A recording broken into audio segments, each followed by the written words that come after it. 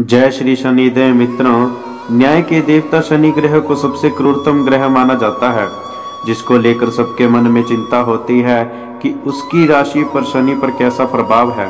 आपकी कुंडली में शनि किस भाव में है, इससे आपके पूरे जीवन की दशा तय होती है।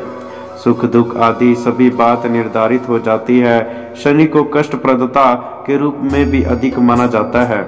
आइए जानते हैं कुंडली के सभी बारह भाव में शनि कैसे प्रणाम देते हैं? तो चलिए वीडियो शुरू करने से पहले मैं निवेदन करूँगा, जो भी इस वीडियो को देख रहे हैं, अगर आपने अभी तक इस चैनल को सब्सक्राइब नहीं किया तो जल्दी से करिए और बगल वाले घंटी के आइकॉन को भी दबा दें, जिससे मेरी आगे की हर एक वीडियो सबसे पहले आपके पास पहुँच पाए।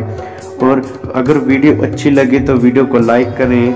अगर आपके भी मन में ऐसा ही कोई प्रश्न है, ज्योति से संबंधित या फिर आध्यात्मिक सनातन संस्कृति से संबंधित तो इस वीडियो के कमेंट बॉक्स में जाकर के कमेंट करें और वीडियो को ज़्यादा से ज़्यादा शेयर करें ताकि सबको यह जानकारी मिल पाए।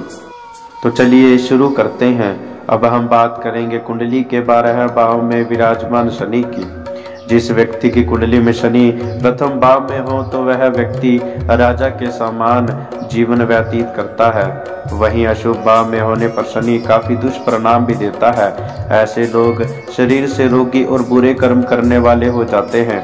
जिन जातकों के जन्म काल में शनि उच्च के होते हैं, वे भाग्यवादी होते हैं।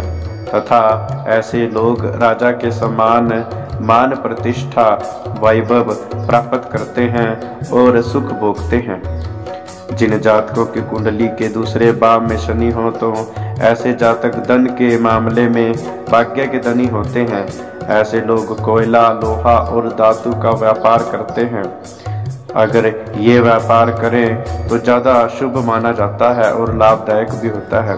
मगर अशुभ भाव में होने पर शनि जातक को कई बार निर्धन कर देते हैं। आँखों की बीमारियाँ कष्ट देते हैं। ऐसे जातकों के दो विवाह भी हो सकते हैं। ऐसे जातक अक्सर झूठ बोलने वाले और दूसरों को मूर्ख बनाने वाले होते हैं। अगर कुंडली के तीसरे भाव में शनि हो तो जातक बुद्धिमान और उदार होता है। और ऐसे जातकों को स्त्री का भी सुख प्राप्त होता है। लेकिन ऐसे लोग कई बार शारीरिक रूप से आलस्य वाले और नीच प्रवृत्ति के हो जाते हैं। ऐसे जातकों को संघर्षपूर्ण स्थितियों और कठोर परिश्रम के बाद भी मिलने वाली असफलता परेशान करती है। अगर किसी जातक की कुंडली के चतुर्थ भाव में शनि हो तो ऐसे लोग बचपन से ही रोगी बने रहते हैं। इस भाव को सुख का भाव माना जाता है। अगर इस भाव में शनि हो तो वह जातक के जीवन से सुख को नष्ट करते हैं। ऐसे लोग कई बार अपना मकान नहीं बना पाते और घर की जिम्मेदारियाँ भी ठीक से नहीं निभा पाते। जातक की कुंडली के पाँचवें भाव में शनि होने पर वह दुष्ट प्रकृति वाला हो जाता है। ऐसे लोगों में ज्ञान और बुद्धि की कमी होती है। ये सुख से अपना जीवन नहीं बिता पाते हैं। अगर पंचम भाव में शनि हो तो वह आदमी ईश्वर में विश्वास नहीं करता और मित्रों से द्रोह करता है, तथा पेट से पीड़ा, परेशान, घूमने वाला, आलसी और चतुर होता है। जिन जात कुंडली में छठे भाव में शनि विराजमान होता है, वह काम में रुचि रखने वाला, देखने में सुंदर और आकर्षण भी होता है। ऐसे लोग लड़ने में भी वीर होते हैं और साथ ही अधिक खाने वाले भी होते हैं। ऐसे लोग स्वभाव के कुछ कुटिल होते हैं, हालाँकि इन्हें शत्रुओं पर जीत पाने में सफलता मिलती है। अगर किसी व्यक्ति की कुंडली के सप्तम भाव में शनि हो तो ऐसे लोगों के पास पैसे की कमी होती है। ऐसे लोग खराब वेशभूषा वाले होते हैं, ऐसे लोग नीच और पापी होते हैं। जातकों की कुंडली के इस भाव में शनि कई बार उनका तलाक तक करवा देता है। ऐसे जातकों के विवाहेतर संबंध भी हो सकते हैं। आठवें भाव में शनि होने पर वह जातक कुष्ठ रोगी हो सकता है, या फिर वह किसी और बीमार से पीड़ित हो सकता है। कई बार ऐसे जातक कवि बड़े जोशी, दार्शनिक और व्यक्ता भी बन जाते हैं। ये लोग इन्हीं क्षेत्रों में धन भी कमाते हैं। ऐसे जातक जिनकी कुंडली के नौवें भाव में शनि होता है, वह कई बार अधर्म के मार्ग पर चलने वाले निसंतान गरीब हो जाते हैं। नमस्त वक्री शनि जातक की पूर्वजों से प्राप्त धन में वृद्धि करता है, उसे धर्मपरायण एवं आर्थिक संकट आने पर धैर्यवान बनाता है। दसवें भाव में शनि होने पर व्यक्ति धनी, धार्मिक राज्य मंत्री या उच्च पद पर आसीन होता है। ऐसे जातक वकील हो सकते हैं या फिर बड़े नेता बन सकते हैं।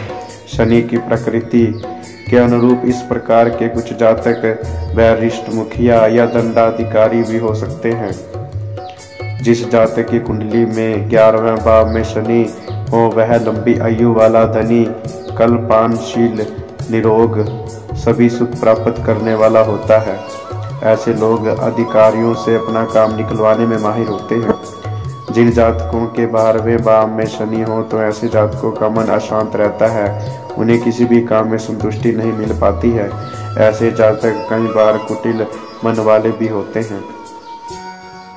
तो मित्रों, ये तो थी कुंडली के सभी बारह भाव में शनि कैसे प्रणाम देते हैं, संपूर्ण जानकारी। और अगर आपके भी मन में ऐसा ही कोई प्रश्न है या आप भी अपनी कुंडली दिखवाना चाहते हैं तो संपर्क सूत्र आपके सामने है। हमसे संपर्क करें, जिसमें आप सिर्फ़ अपनी जन्म तिथि जन्म स्थान व जन्म समय बता करके अपने समस्याओं के समाधान का उपाय करवा सकते हैं।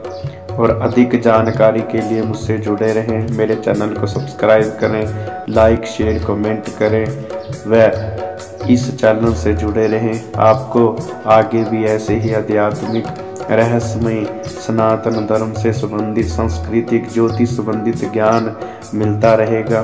और मेरे पीछे के जो लोग हैं, केदारनाथ धाम की यात्रा, बद्रीनाथ धाम यात्रा, उज्जैन महाकाल यात्रा मणिमेश कैलाश पर्वत यात्रा मेरे डिस्क्रिप्शन लिंक में मैंने डाल दिए हैं। उनको जा कर के देख लें। जिसमें आप जानेंगे कई रहस्यों के बारे में। वह दर्शन करेंगे बाबा भोलेनाथ के। हर हर महादेव।